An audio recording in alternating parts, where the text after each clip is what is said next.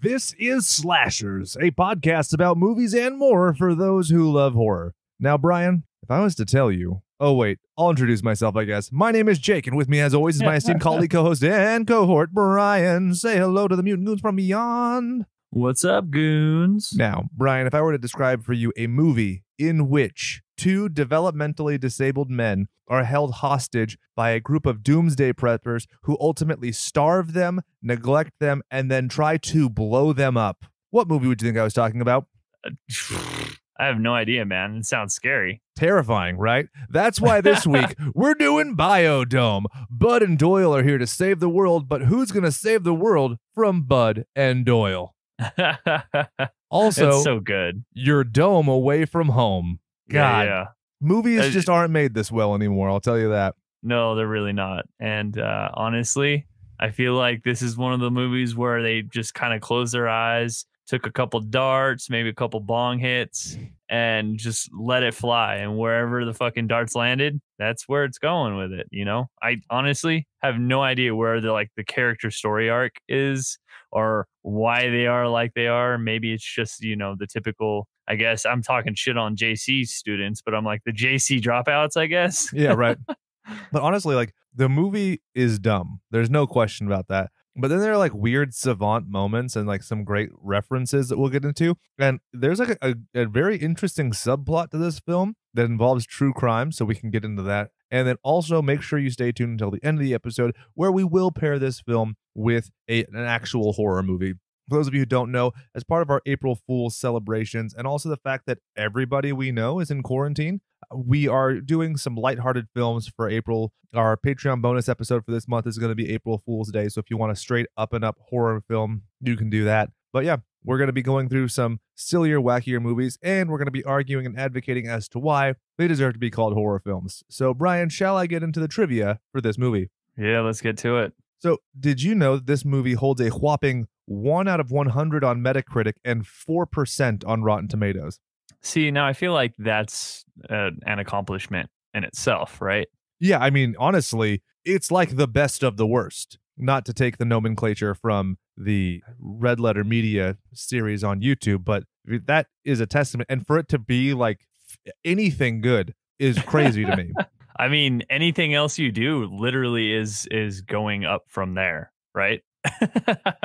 After the fact. Yeah, and actually, I'm looking on it here. The Room, you know, the Tommy Wiseau The Room from 2003, has a 25% on Rotten Tomatoes. So they are saying that that film is six times better than Biodome. Get the fuck out of here with that. That yeah, I don't know. Once again, Rotten Tomatoes just fails to entice me to believe anything that they have at all. Yeah, they suck. They suck butt nuts. Now, the film did win Pauly Shore a Razzie, which he co won with Tom Arnold in 1996. You'll remember Tom Arnold that year starred in Big Bully, Carpool, and The Stupids. I'm my own grandpa. So I those never three seen movies any of those. were perceived as being as bad as the one Pauly Shore film. wow. I don't know what's worse. Yeah, yeah. It won two out of three nominations at the Stinkers Bad Movie Award, which was Worst On Screen Hairstyle for Stephen Baldwin and Most Painfully Unfunny Comedy. Uh, again, Pauly Shore was nominated for Worst Actor and lost outright at that time to Tom Arnold. Now, shall we get into the statistics for this week? yeah, buddy. On a budget of $15 million, this movie grossed $13.4 million. Ooh, I don't know. I mean, honestly, though, that I would consider that a success for what it is. You know, what I mean, it's almost the same return compared to some other movies that I feel like that we've seen that are just really bad. You look at the difference between the two, and you're like, oh my god, some you just spent like forty five million dollars and you got two million dollars back. Like, I mean, you know what I mean? Like, Oh, I feel yeah. like maybe over time, like this movie would be able to pay itself back as far as with DVD rentals and everything else. Cause this is big with like the whole blockbuster video and everything else, right? Oh yeah, and cable TV. It was on Comedy Central and stuff all the time. Yeah. So it definitely ended up True. making its money back, and it has a cult following.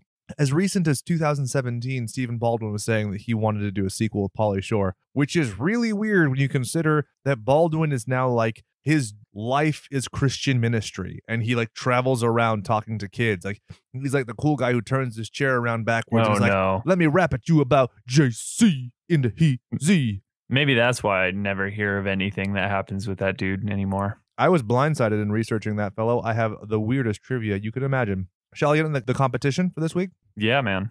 So this film came out January 12th, 1996. Let me regale you with the competition because I think this might speak to one of the elements as to why this film just kind of tanked. 12 Monkeys came out on the 2nd. On the 12th, you had Don't Be a Menace in South Central while drinking your juice in the hood. The 17th, good. you had From Dusk Till Dawn. February 2nd, you had Black Sheep. February 16th, you had Happy Gilmore.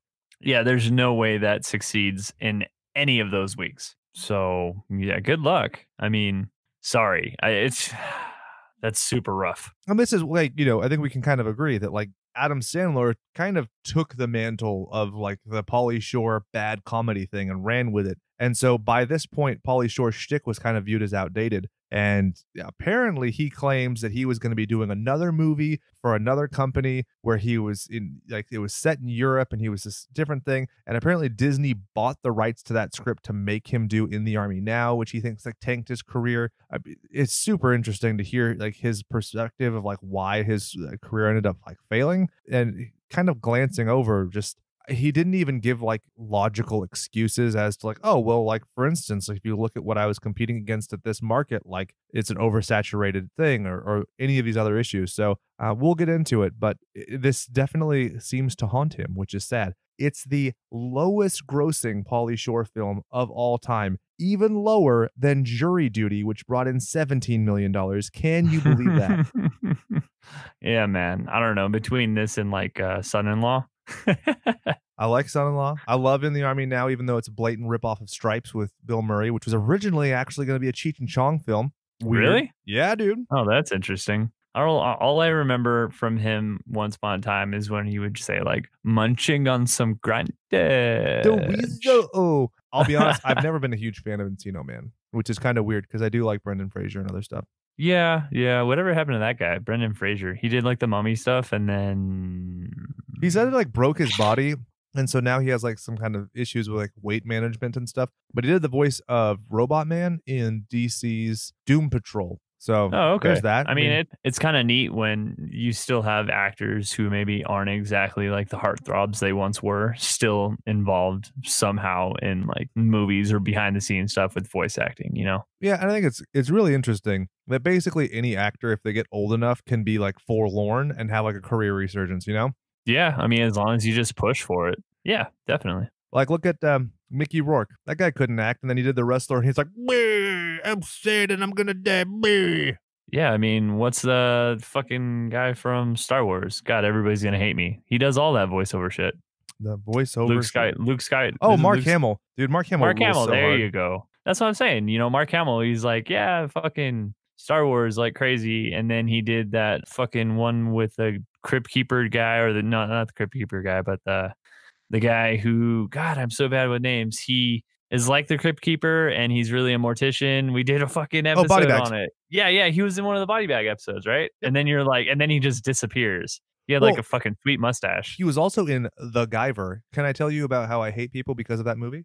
So I had on. seen The Guyver, which is based on an anime. It was, uh, I think it's Biosuit Guyver, where a guy gets this like alien technology and becomes a super fighting, killing machine and fights. Isn't that isn't that like a, a cartoon where like a It is kid as well. turns into it? yeah, there's a cartoon, there's a manga, there's and then there's two live Ben action 10. movies. the Ben 10, I think. That's a ripoff. Don't even. Oh. Don't even. Never, don't even. never It's mind. too soon. flagrant ripoff. But anyway, I remember seeing The Guyver on cable at my grandma's house. And so I go to Warehouse Video. This is how long ago this was. And I'm like, dude, I want to see this movie. It's called The Guyver. Like, I will pay you all of my allowance forever if I can watch this movie again. Because for me, it's perfect. It's like violent Power Rangers, right? And the guy's like, I think you mean Mac Guyver. And I was like, I think the and Mac are different words, Fuck fuckwit. and so from then on, I just never ask for help if I'm in a store anymore. It's like, I'll figure it out. yeah. I mean, you can't be any more different between the two, right? MacGyver and the Guyver. I mean, if you look at the story and everything in between, like you're like, wait, one guy just creates things out of toothpicks and tennis balls and everything else. And the other is like this aliens and superpowers and all kinds of shit. So one's Imagine the clearly a lot better than the other. of MacGyver, but instead of a paperclip, he has the Guyver suit. Whoa! very good, very good. So this film, 95 minutes long. Did you love it? Yeah, again, it's it's the golden shower of minutes, I guess you would call it. It's not the golden hour, right? It's the golden shower. Oh yeah, it's a, it's a nice piece stream on my face. I lo- I think it's a great time. I could see how you'd argue that that second act kind of lags a little bit when they're doing the montage, but the fact is, it's a montage. Like they just kind of quickly go over the homeostasis and blah blah, and then it's the end of the movie. Like, and it sets up the best idea for a sequel ever. I I love the ending to this movie. It's so dumb, but it's so great. Yeah, absolutely. I feel like honestly, the only thing the montage is missing was the song where it's like do do do do do do do do do do do do do.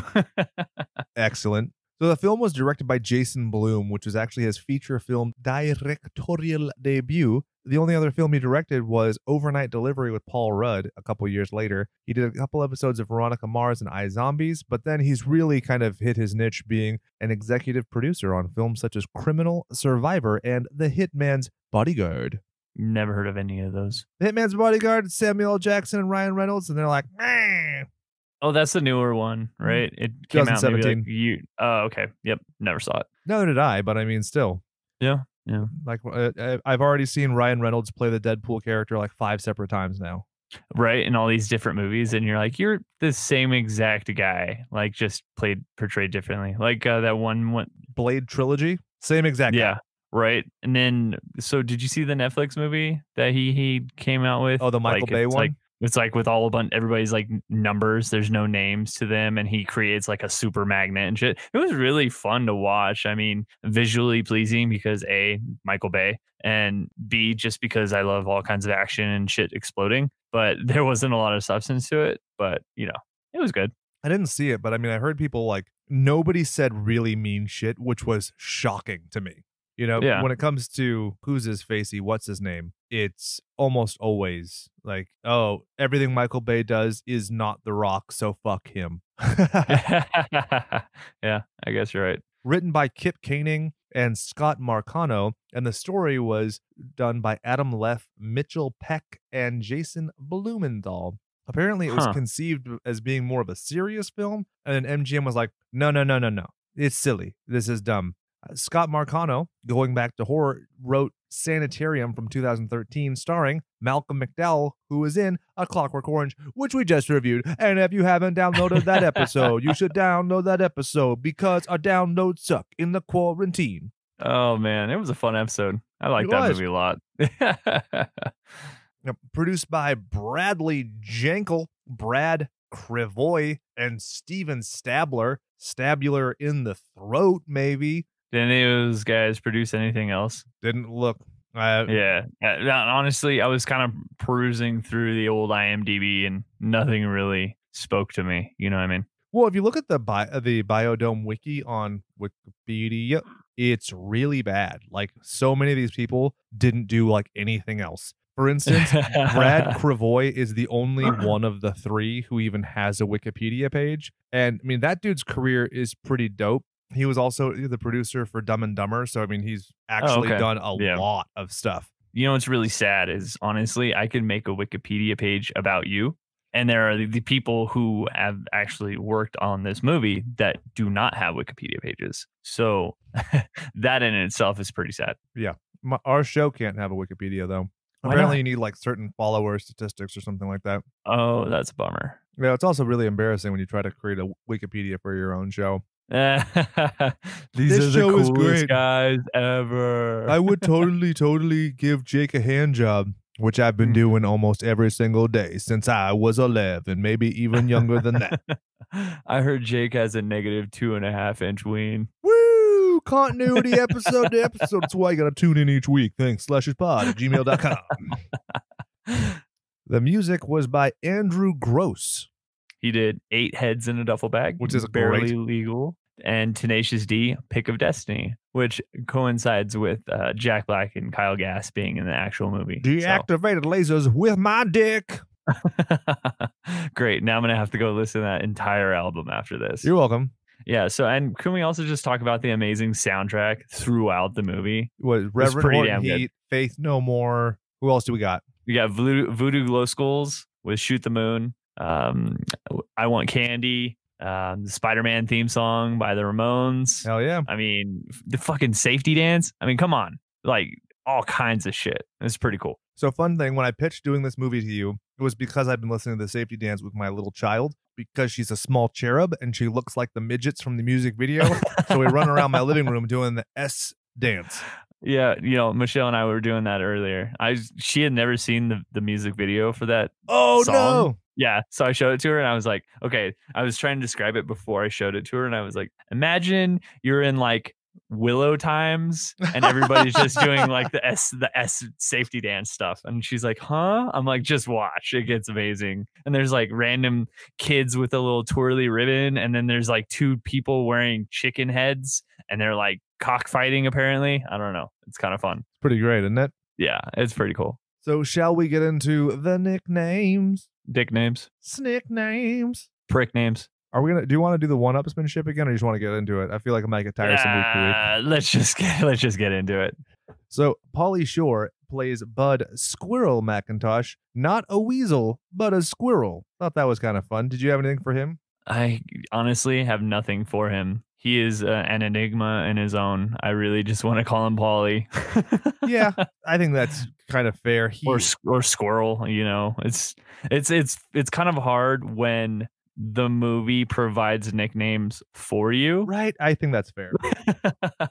so you're like, okay, so one's Bud and one's Squirrel. Um, I, we're I'm a, I want to run with it. There you go. This film almost starred Dana Gould and Harland Williams. I found out from uh, Pauly Shore's own podcast, so that's pretty amazing. Usually, I don't get into the whole like alternate casting thing, but you remember Harland Williams is the guy from Rocket Man. It wasn't me. Oh, yeah, yeah, yeah, From yeah. Half So Baked. from half baked, right? Okay. He wants to. He's like, I. I'm somebody's are- bitch. You are a Homo sapien. Oh my god, I said Homo.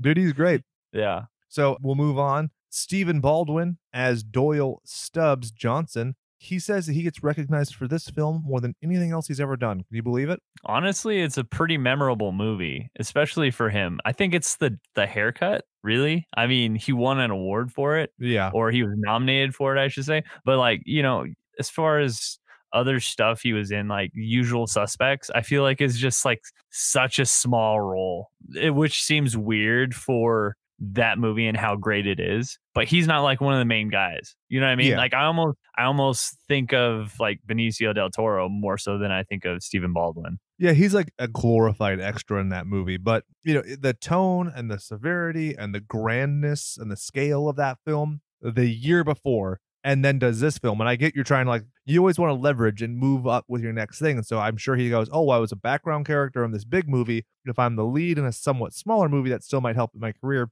His brother Alec warned him this would kill his career. And he was still like, Okay, yeah, sure, bro. And it Oh, killed his no. career. He actually declared bankruptcy in June of 2009.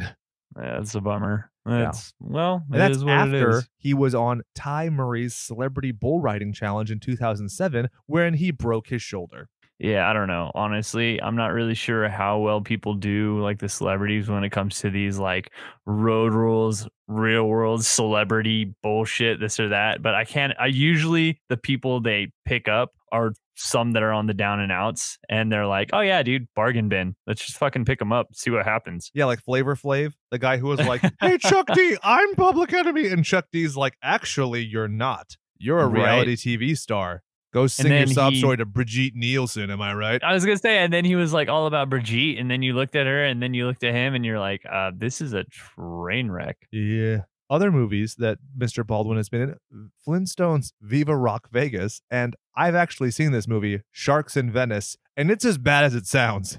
Oh, dude, I can't believe I forgot about Flintstones. He plays Barney. But it's it's Rock Vegas. The first one, it's Rick Moranis, and it's awesome. Is yes, that's true. That's true. So Rick, Rick Moranis and John Goodman. John Goodman. I was like, big dude, fucking Roseanne, what's his face? Yeah, John Goodman. That was a great movie. It's fun. Rosie O'Donnell, I'll always remember when she's sweeping up and they're living, they're homeless and they're out in the woods or whatever. So she sweeps up a bunch of dust and looks around and realizes she's outside, so she just blows the dust out. I think about that every time I do any kind of cleaning in my house because we live in this fucking dust bowl. Yeah, yeah. I think the only thing I remember from that movie, or you know, there's a, there's a few things, but like one of the main things I remember is the disgusting pig that is the garbage disposal Yeah. underneath the sink. That's so funny. It reminds me of the gross little like green creature from Evolution, which is it you who hasn't seen Evolution with David Duchovny? Never seen it. Okay. So, spoiler alert, your boys might be reviewing that in this April Fool's Month bullshit. That movie fucking rips hard. Did you know Stephen Baldwin is the father in law of one Justine Bieber? I did know that. I did know that. I found that I- out with this. once upon a time, I feel like on Instagram, I was like, "Hey, this girl's kind of cute," and then it was Hailey Bieber, and I was like, or Hailey, whatever the fuck her name is, um, Baldwin, right? Yeah.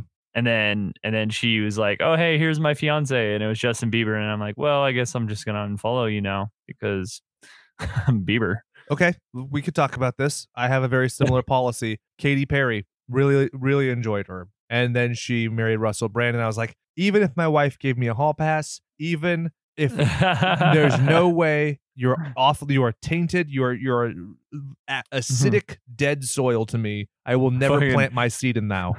forever unclean.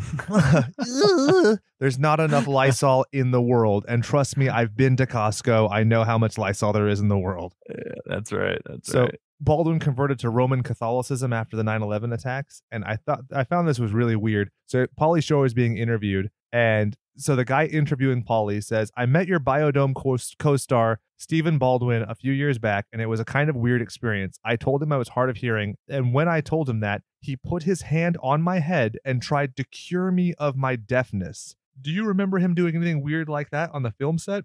And so Pauly was basically like, nah, he's just basically like born again. And he's like, if he wasn't born again, he'd be like a drug addict or a crazy person. So he's actually kind of glad that he found Jesus. Yeah, dude, that's so weird, man. I mean, how awkward does it have to be for like the the person that's interviewing him to like have somebody literally place their hands on your head and try to cure something that is like scientifically like, okay, no, there's a reason for this. Yeah. And what you're doing is I don't know. You're not Yeah, John I- I- Constantine. Fuck off.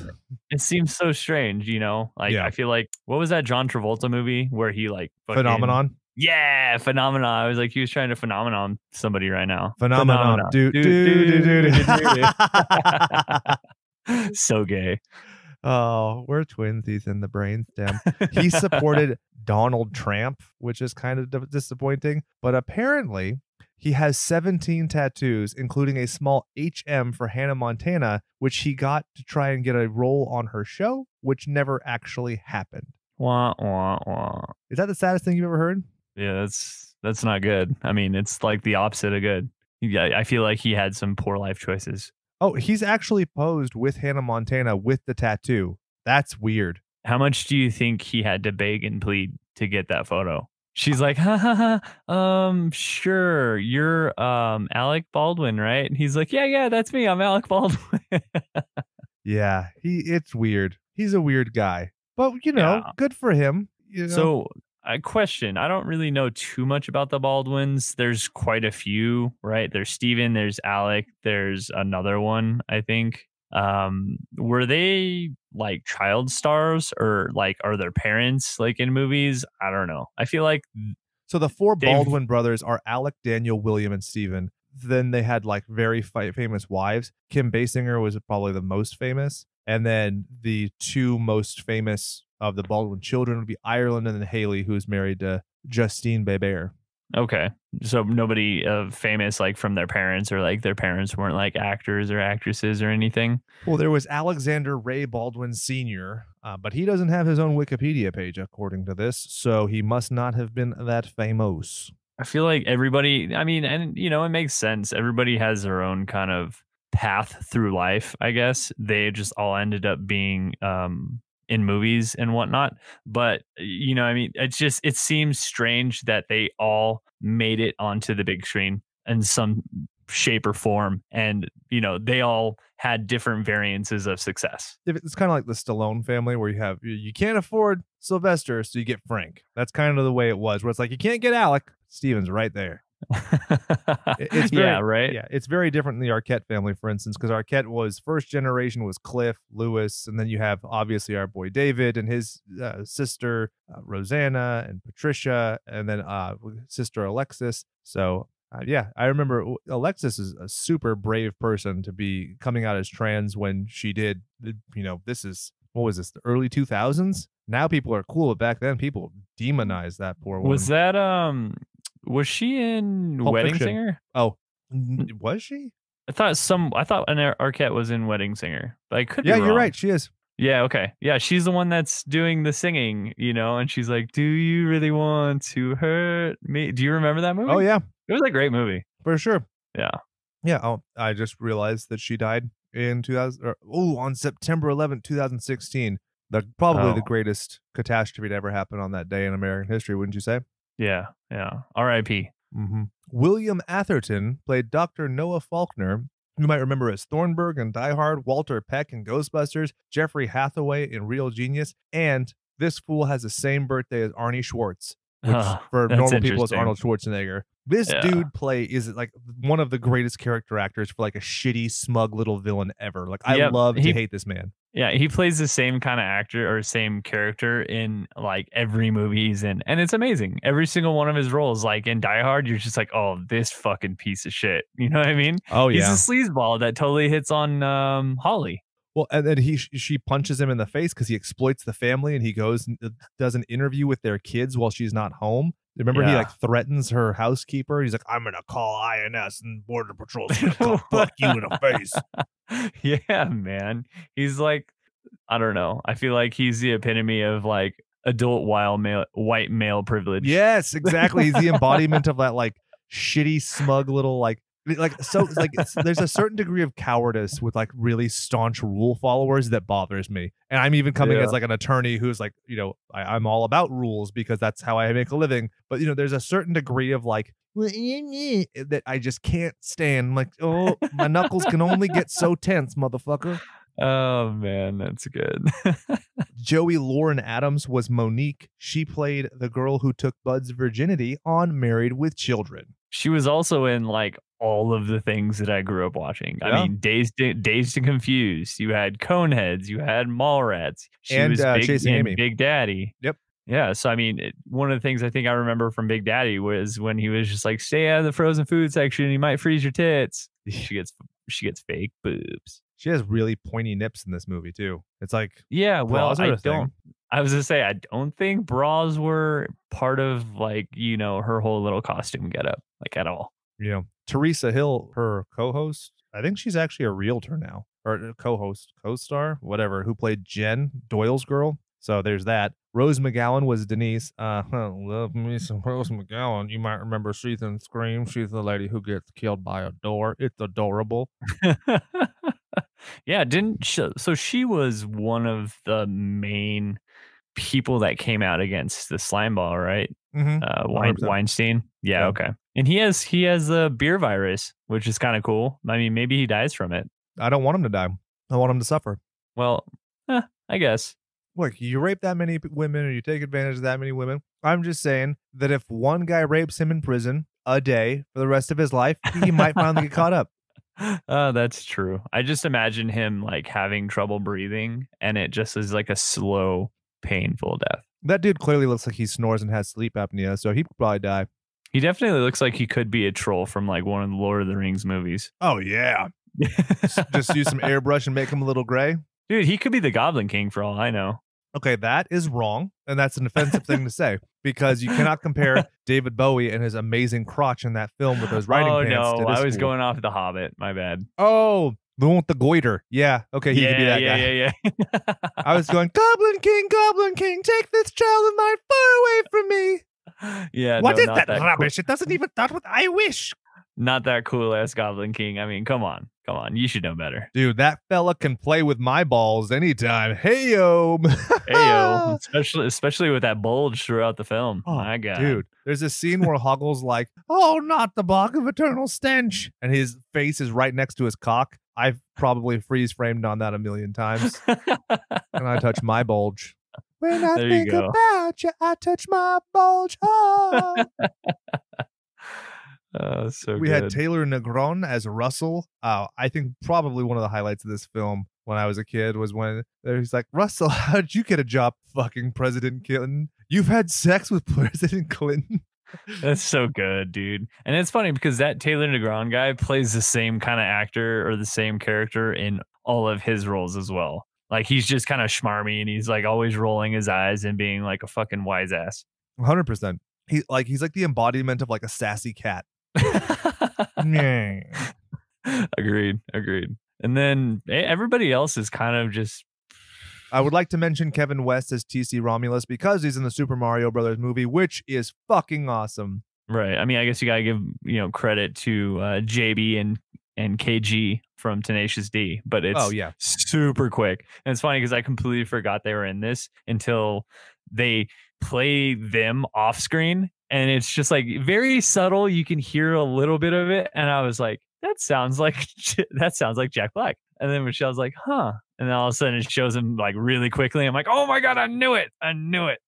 I smell it on you. Yeah, yeah. So let's and then get I, I gave I gave myself a high five. I was like, Yes. high five. I remembered the things. That's it. We gonna get into sleigh by play? Hand slappy hoo ha.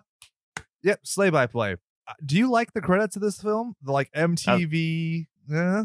I mean, honestly, was he uh, like a MTV DJ at this time or VJ or whatever the fuck you would call he him? He wasn't at this time? anymore, but he was previously. So it really. I mean, you got to imagine it, it probably carried over in some shape. Oh yeah, I thought it's. I think it's great. It's so like it's such a period piece. Like this movie is the time that it happened in, right? yeah. Oh, absolutely. Wholeheartedly. I was actually really surprised he didn't sneak in any of like his scarves.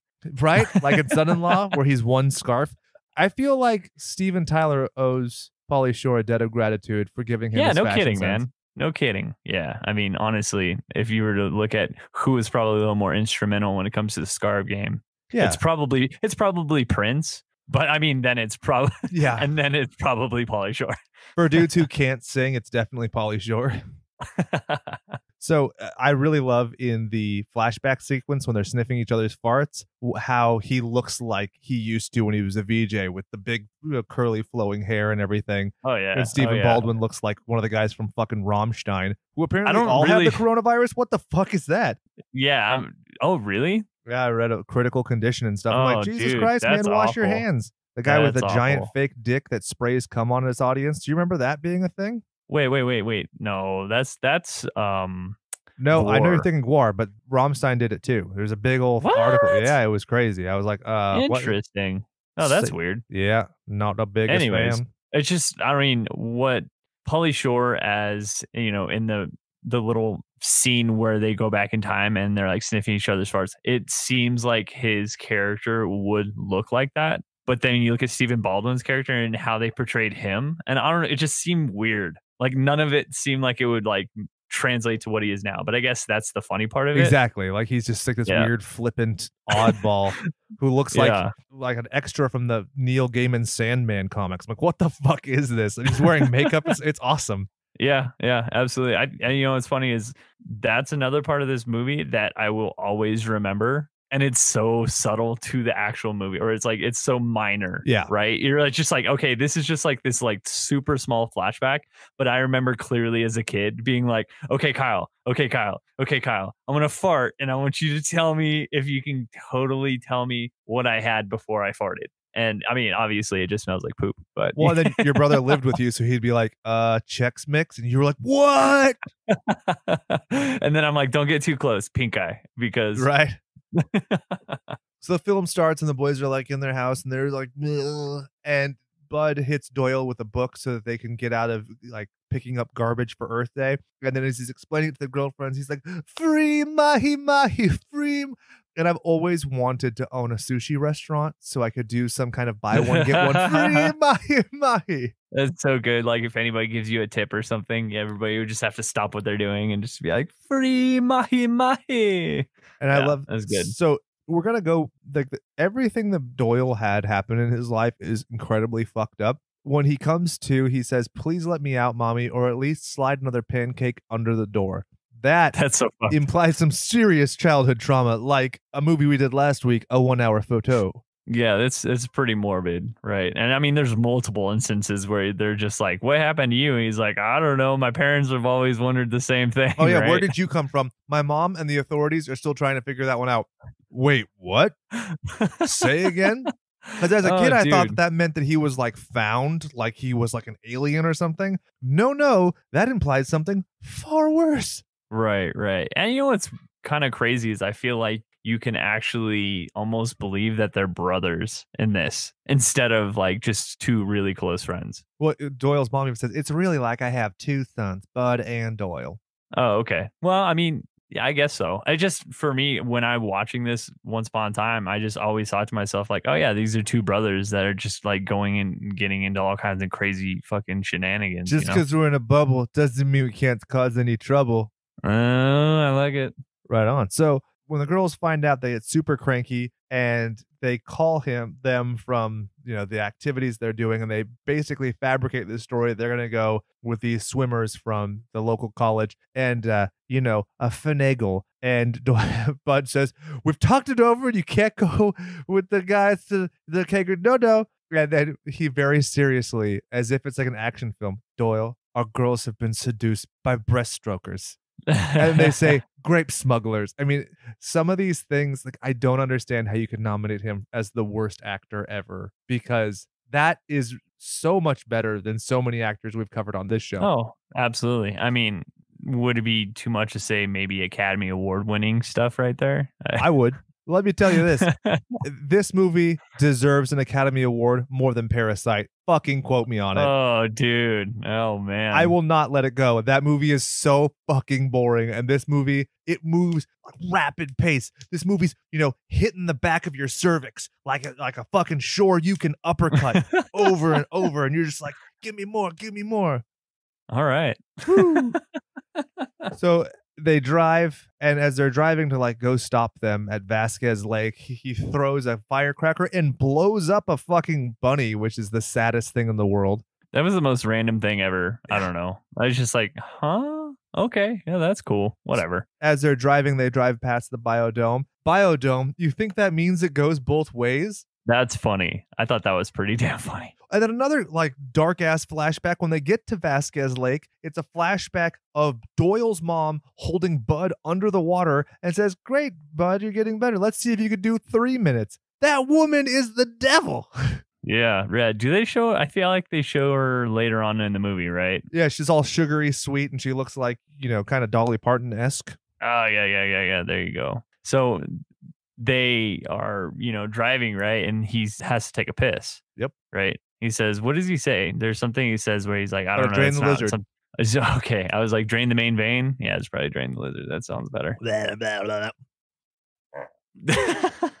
Did the microphone pick up the fart? I hope so. totally Brian, what's it smell like? Oh fuck. I have a lemon head in my mouth and I had a lemon head mixed with fart. It made the fart taste worse. Oh, dude, that's gross. That's gross. So they, uh, there are some weird things where they have this like savant understanding. So they get to the biodome and they break in using firecrackers. And there's a reference to the JFK assassination where they Oh, say dude, that's it came so from the grassy knoll. Assassins, assassins, holy Kennedy. And he says that he's going to have a Rip Van Tinkle Fest, which is a literary reference, as if he even knows how to sing. And then, dude, full on fucking Sieg Heil's the security guard. Like, what is happening here? This is uh, crazy. Yeah, I mean, this is definitely one of the instances throughout the movie where you're like, "Yep, definitely wouldn't be able to get away with doing that nowadays." A hundred Yeah. percent. So they get inside, blah blah. The pickup line where he's like, "Are you fruit at the bottom or stirred?" Am I overly vegan and thinking that's just a fucking disgusting pickup line? It always creeps me out. I just, it's fucking gross.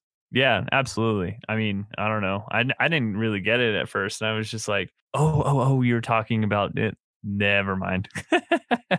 That's gross. Um, I love all the pickup lines though. It totally reminded me of the Did it hurt? the two brothers, the the two brothers, the Steve and Doug Butabi. Yes. And they're just like, Me, you, you, me, me, you. And she's like, What are you doing? She's like, That's the sound of the ambulance to take me away when you stop my heart. so good. Yeah, it's pretty good. So then they do the Iron Man song, and it's the best thing of all time. How's it go? Iron, Man, Iron Man Iron does Man. whatever an iron can, pancake flat like a glove. And then Faulkner interrupts and is just like, He's "That like, is Spider Man. that is Spider-Man." Black Sabbath did Iron Man." And I was like, Yeah. I would really love to see him as Robert Downey Jr.'s villain in another Iron Man movie. Alternate universe right there. Dude, it'd be pretty so sick. So Dr. Leakey ends up like, oh, well, they represent the chaos element. So just ignore that. It was fully planned. And they just kind of go about their stuff. And they're, you know, going through and acting just really stupid. One of my favorite scenes of this entire movie is when they prank Olivia and they go to the door acting like they don't know that they're locked in. And so they start slamming their heads against the door and everything. And it's clearly not an airtight door because light's coming through underneath it, but whatever. And so they're like, so what you're saying is we're stuck here for 12 months, 52 weeks, 385, 385 days. days. And she says yes because she's so frustrated. It's so fucking funny. Yeah, it's so good. And it's funny because I, I clearly remember as a kid watching this and saying to myself, is this what Bud does? He just run, runs into things over and over again with his head. Yes, this is this is his shtick. Okay, all right, sounds good. Everybody's got their thing. I say butt fucking, he slams his head into stuff. It's no big deal. yeah, it's almost like you remember the cartoon Ed, Ed, and Eddie. I love it. He's Ed. And then, oh my God. But then that makes Bud has to be Eddie. And then who, Eddie, is there a then I double don't D? know. Oh, uh, I don't know Romulus is double D. There you go. That's true because he ends up kind of being like the cool guy, anyways. Yeah. Like, Hello, light buttered toast. Who's Johnny Two by Four in this Roach? yeah, it's probably Roach. I could say that. and then Purple Sticky Punch is clearly the jawbreakers in this scenario, right? Yeah, man. It kind of makes you. It, it makes me wish that they had some kind of little montage or something where everybody just got really stoned and did stupid shit, kind of like uh, Breakfast Club, where they all just like dance around and like do fucking karate chops and and shit. You mean like the safety dance montage? Well, I mean, there is that. But that's more Yeah. it's it's portrayed as being because of the song, not because they're like toked. You know, right, dude? Yeah. Is that a absolutely. I cool mean, thing to say? Says the straight edge guy who's like, Yeah, I think. No, actually, toked isn't really a thing. You, so. did you get ripped on your bongs? Even better. So later on, they're having dinner and they're really grossed out by the food. Another strange because thing. it's because it's is it tofu right Yeah, or exactly. soy or Are something yeah you killer tofu? tofu killer tofu And Bud says, "Avez-vous a cigarette?" Which is to say, uh, "Do you have a cigarette?" in French. And I'm like, "How the fuck does he even know what French is?" But all right. And then later on, so you have Monique is watching the news with Russell. Russell, you know, I, I, we're out at Depends. I hit, I hurt my bladder rollerblading. Hilarious. but then he's like talking about her, like, if I were you, I'd go out and hump for the next year. And she Dude, says, so weird if I were you, I'd have my mouth full of shotgun with the toe in the trigger. Kurt Cobain committed suicide for 894. Just a little When- over wait, a year before this movie came out. oh wow okay i was like so wait did this come out before or after okay After, so yeah, i'm so like so kurt, kurt cobain i was like kurt cobain watched this and i was like oh shit and there we go that's how i'm doing it Could you imagine that? Pauly Shore drove Kurt Cobain to kill himself. It's canonical i mean honestly that would probably make Pauly shore a little more famous than he actually is but for sure. Another dark ass music reference is when Romulus is talking about the Lepidoptera, and Doyle says, "Didn't their drummer lose an arm because of oh, Def Def Leppard?" leopard Dude, Oh, it was so dark. I'm like, "Fuck, man." yeah that's pretty good that's pretty good So when they're being banished for all their shenanigans, they go out into the desert, and you can actually see like the tarp kind of ceiling flopping, and so people are like, "Oh my god, inconsistency!" I'm like, "You're not watching this movie for continuity. You're watching this for hilarious dumb fuckery." What I love is when they get back to their car and they find the boot. The first thing they do upon escaping the biodome is get pizza no, they they fucking litter with the parking tickets. They're like, Oh yeah, yeah, yeah, yeah. That's so good. And it's funny because right after they get like banished to like the desert, you can imagine like it hadn't taken very long. Like it was maybe like a course of like an hour before they're like laying on the ground. There's like holes all over their like Yeah. fucking shirts and stuff. It's pretty funny. You gotta love it. So they leave the biodome. They get the pizza. This is the Russell thing. Russell says basically that their girlfriends are off slobbing knobs. And again, a really weird, clever reference from Doyle, who says that she no his girl's not going to be swapping Mark Spitz, which is a callback to them being swimmers because Mark Spitz was an American swimmer. It's like, how are you that clever? You're just the dumbest person alive, which I kind of love though, because this to me doesn't show like varying levels of intellect. It's like he's a, an idiot savant. Did you get that vibe? Yeah, yeah, yeah, yeah. I got that as well. It's like only on certain subjects where the, he's just like, it almost seems like he gets hit in the head one too many times, and then all of a sudden he turns on his smart button, and he's Yeah. like, "Oh shit, let me just uh, like spout out some random nonsense, or actually not not not nonsense. It's something that's really intellectual." And then he gets hit in the head again, and he's like, "Up, back to normal." Buttered toast. So it cuts to the girlfriends with the other guys. This is where you get Tenacious D, which is awesome. So they get super jealous and they throw their own party. And it, you know, you're killing the biodome. And then the girls find out the guys who they were kind of being seduced by are just trying to get laid. And so they're upset and they leave. And then Bud and Doyle, to like, you know, regain their love and trust and honor, bravely go to lock themselves into the biodome. And I love so much. It's like, if anybody's just stop me, like, do it now. And Russell's like, please, God, let's let me go. Please. it's the funniest shit ever. That's so good, dude. I just imagine him just like vegging out and being like, ah, you know what? I kind of want to see how this rolls. And then he's like, nah, you know what? Nah, fuck this shit. I'm out. Yep. Do you think he actually swallowed the key? No, looked but pretty it's damn funny good. that in three weeks we've had two movies where people swallow keys. That's true. I don't know if it was pasta. I don't think so. So they lock themselves in and basically they go on a quest to rebuild the biodome. And one of the things that's great is, you know, Romulus calls him a simian, or Doyle. Romulus calls Doyle a simian at the beginning of the movie, and Doyle replies with dick. And so after he swallows the key, and Romulus said nothing to stop him, he says dick back. And it's like, yes, it's so yeah, good. dude. That guy's so good. You know what he kind of reminds me of? Who? He kind of looks like Maynard James Keenan. Oh, 100%, dude. He also looks like the guy uh, who did the voice I mean, he also looks like he looks like the dean from the community too. Hell yeah, he reminds me of Tom Kenny. I mean, A bunch of great characters. So, Yeah, absolutely.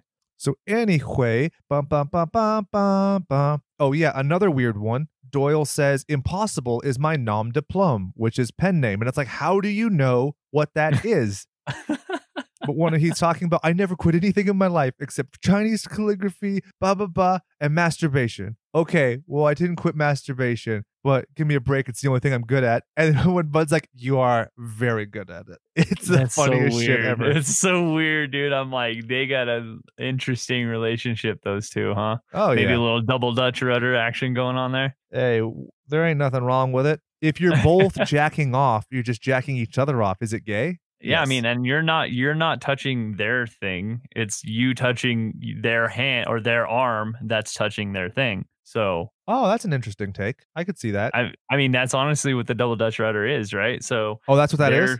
they're holding their dick and then you grab their arm and you do the motion and then they grab your arm as you have your hand in your dick and you're just doing the motion of it. That's just masturbation with extra steps.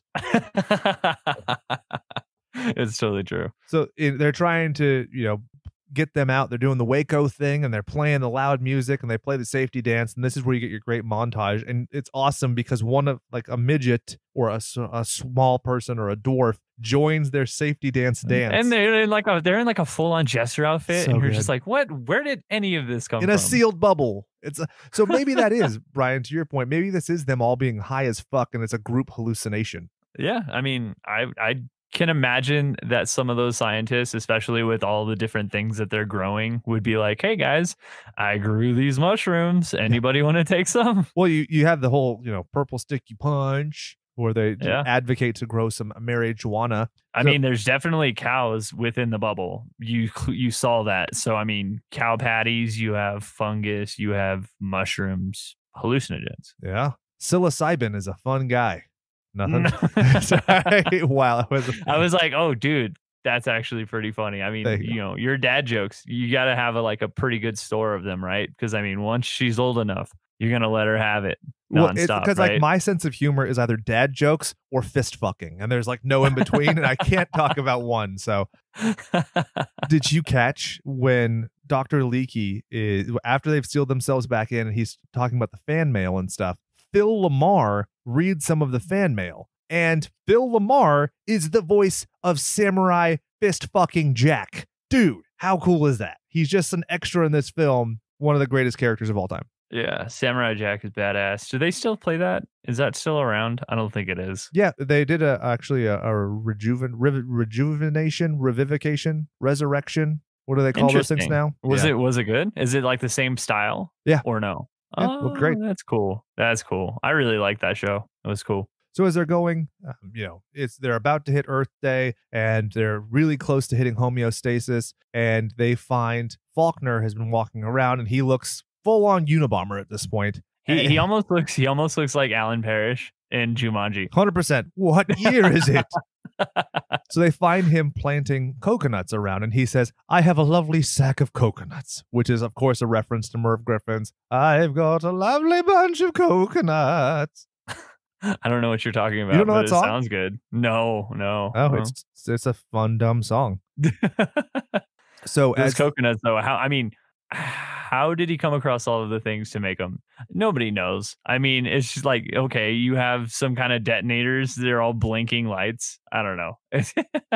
yeah, it's weird, but you know, don't get bogged down in details, man. Just live with it. It's true. It's true. I'm like the, I'm like those people that are like, oh, look at the flappy fucking roof and shit. No, just pay attention to how stupid this movie is. So he tricks them into spreading the coconuts around, and then he goes to the computer and hacks it, and then he says, quote, My creation I know thee not, which is a reference to Mary Shelley's Frankenstein. Again, some great, cool references. So they play rock, paper, scissors when they figure out that it's bombs. And so earlier in the film, basically Bud beats Doyle every single time by using paper. So Doyle wises up and uses paper and loses. And Bud's just like, Oh, what do you thinking? Paper? Great callbacks Yeah. working in threes. It's funny how every single time they were doing the Rochambeau, Bud would clearly wait like after uh, Doyle he would cheats. do it, and then he would do his. So Yeah, good. It's so funny. It's so funny. And so basically, the bomb detonates, they escape, and they bid farewell. And then as they're driving home, you know, Doyle has to pee again. So they go off to a you know, quote unquote, uh, factory, and you find out it's a nuclear test site, and they're basically having Chernobyl 2, and it's awesome. And then Faulkner runs off into the desert. They're chasing him down, and they're like, Where did he get a key? Thus implying he sifted through Doyle's shit and got the key. yeah, I mean, it's probably not the worst thing that guy did. so He probably went full on uh, Bear Grylls and drank his own pee, dude. He looked kind of rough. Yeah, for sure, he he'd had a go of it. Yeah, yeah. So, I mean, for me, honestly, I think this is it's a tragic. I could totally see that. For me, it's a classic because I think there is enough like artfulness in the creation of it, but I, it doesn't offend me. So I was thinking for this month, since we're doing like this kind of weird comedy yuck yuck shit, we're just gonna have the King Fool. And so as of now, the King Fool is Biodome. Uh, we'll see what other episodes are to come. Now, Brian, are you ready for my horror double feature? Yeah, yeah. Let's do it. I would pair this movie up with Cube, the Canadian film from 1997, which this movie is the exact antithesis of Biodome in certain ways. Made on a super shoestring budget of 350,000, made 9 million bucks at the box office, which is a pretty great return. Wow, that's awesome. 90 minutes. It was directed by Vincenzo Natali, who had actually he wrote the script, which originally was going to take place entirely in hell. And then, you know, when he has his script done, he did a short film called Elevated, which you can find on YouTube. It's about 20 minutes long. It's cut subtitles, but it's really fun. And it kind of it's when you have that as a companion to Cube, you'll love it. Cube ended up having a sequel and a prequel, which was uh, Cube 2 Hypercube, which is a terrible name, and Cube Zero, which doesn't make any sense. But I highly recommend those movies. You know, there's a ton of movies that are like it. it. It's also very reminiscent of the Twilight Zone episode Five Characters in Search of an Exit, which aired December 22nd, 1961. And that is huh. the horror recommendation to keep our bullshit credit, our street cred, to Yeah, be yeah, a horror that's right. podcast. Street cred. What? What? So, Brian, um, overall, are there any other horror films that you would pair with Biodome? That's just the one that came to mind because I'm the one who pitched Biodome, so I'm the one doing the pairing. We have a couple that you're pitching, so you're going to do the pairing. Right, absolutely. Um, nah, actually, I I can't think of anything else that really comes to mind. You? You know, stuff in space, really, because it's the only thing where it's like sealed, right? Yeah. Okay, I can see that. So, anything in, in particular? I don't know, man, Life or something. Here you go. that stupid movie Life, where everybody becomes idiots when they're dealing with the alien, the alien Calvin. Bud and Doyle are Calvin, and the scientists are idiots who engage in it and ruin everything. Boom. huh? There you go. Boom roasted. I don't even know how I did that. I forgot I even saw that movie except for the reference to Spider Man. That's crazy. If you could recast any horror film and put Pauly Shore in it, which movie would you do? You only get to choose one, and I want hilarity to ensue. So I will start. Okay. Silence of the Lambs. I would oh replace no. Hannibal Lecter with Pauly Shore. Okay. Okay. That's very good. That's very good. And I like that. if I can, like. I'll also take it one step further. Replace Jodie Foster with Kylie Minogue, and replace Buffalo Bill with the guy who played With- Faulkner in this movie. I was to say Buffalo Bill would be uh, Stephen Baldwin. Or- oh, I would think that, but William Atherton is just so creepy in a lot of ways that I think he'd be perfect. That's true. That's true. So I I was thinking I would do the original Texas Chainsaw Massacre oh, with Polly with Pauly Shore as you know as Leatherface. is he gonna be Franklin? But yeah, Yeah, he'd be Leatherface. I love that. I, I mean, you know, you can't imagine him being able to like swing around a chainsaw because I can't imagine him lifting one over his head, let alone. I mean, unless he had like one of those like little baby pruners. yeah, You know, right. like the one that like he like pruned the hedges and shit. Like that's how he killed people. I could totally see that. It'd be fucking great. And then Stephen Baldwin, I mean, he's just not relevant, so I wouldn't really cast him in anything. I don't know. I feel like any maybe I can see like Stephen Baldwin as um who is the guy that damn it, what's his name? Nicolas Cage in Face Off. I can imagine him playing Nicolas Cage's character in Face Off. I could totally see that for sure. yeah, I don't I don't know. I mean, it's not exactly a horror, but And let's add this: if you were to put, let's say, Jason Voorhees in the biodome, oh, who do you think lasts the longest? Dude, the girls. Absolutely the girls. I think they just fucking run house, man. I feel like they almost were portrayed as like the the ditzy girls, right? Because it's like so easy to do. They're Yeah, like the really attractive. It they're feels the really, really regressive, doesn't it? Yeah, they're, they're the really attractive girls that are scientists, quote unquote, and they end up actually being like super smart and resourceful. And I feel like they're the ones that survive. I like that. I think Romulus Mm. would die, um, but I would really like to see Romulus dance, kind of like your Crispin Glover, and then yeah, I think. Did you get like a very much like a Ginger Mary Ann vibe from oh, 100 from percent. them? Right. Okay. Yeah. Yeah, I think that the coconuts to a certain degree, I think, is also kind of a reference to Gilligan's Island in as many ways. If you look at like the group dynamic, it, it kind of fits pretty well. Yeah, the professor, right, as the main dude, and then uh I don't know- really know who who is the old guy in Gilligan's Island. What's his name? The millionaire Fucking- yeah, the millionaire. I forget his name.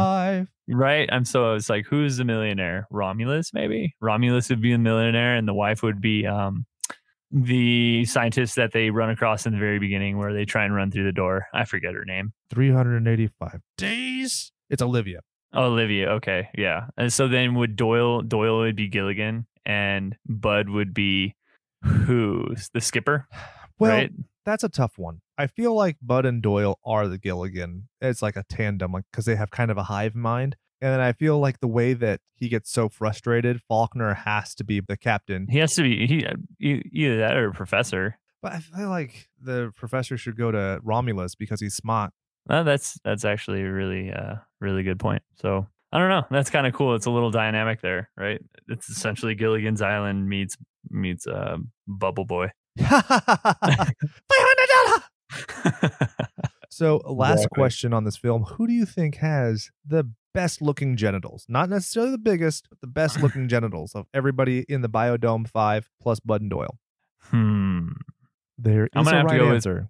I'm gonna have to go with Kylie Minogue. That is fair. I was really hoping that you would say something perverse about one of the other guys, but yeah, I think Romulus would have a nicely trimmed and manicured. You, you- do you think any of these Dude, guys have an I feel like I don't know. I feel like Romulus could have like a like a super behind the scenes, like down to my knee kind of dick. yeah, so- dude. Although he's like super skinny, so it'd be like a fucking it'd be like a needle dick. But you know. You'd be like, I'm gonna shove it up your butt, or fly. Oh. Yeah, yeah. All right, buddies. Well, stay tuned next week. We're going to keep doing this at least until quarantine procedures are over. Uh, it's just a dark world. And I know a lot of people are sad. And I know that, I mean, our numbers could not be fucking lower right now with everybody having free time and not commuting. Nobody gives a fuck about podcasts because it's like, why would I listen to you talk about Biodome? I'm just going to watch Biodome while I'm quote unquote working from home. yeah, and here's the thing also, I mean, don't get me wrong, I love doing this the podcast with you every week, but at the same time, this is another safe way for me to just kind of hang out with you, Exactly. you know. So, there's also that. And uh, if you are into super horror stuff, we obviously are going to be doing the Patreon bonus, which is going to be straight out and out horror. If you're a $5 patron or above, you get a weekly bonus episode, which is awesome. We're always receptive to your recommendations. I have a feeling that May is going to be pretty gory by comparison, just because I feel like we owe it to you to kind of do some gruesomeness. And hopefully by then, the world is a much brighter and sunshinier place. Uh, We're always open to suggestion. We have the slasher submission form. Uh, Feel free to reach out. We'll be happy to engage you. If there's ever anything we can do to try and get you to do a review or, you know, share about the show, we'd really appreciate it because at this point we've kind of stagnated. And in fact, like I said, our numbers have kind of gone down because of the crisis. So, you know, uh, if new sets of eyes, new sets of ears would be great. Brian, do you have anything to send these goons off with this week? If you ain't watching them die, you ain't really trying. Bum, bum, bum. For Brian, I'm Jake, reminding you to go out there and do something you love. And remember that all work and no power play makes Jack a dull boy.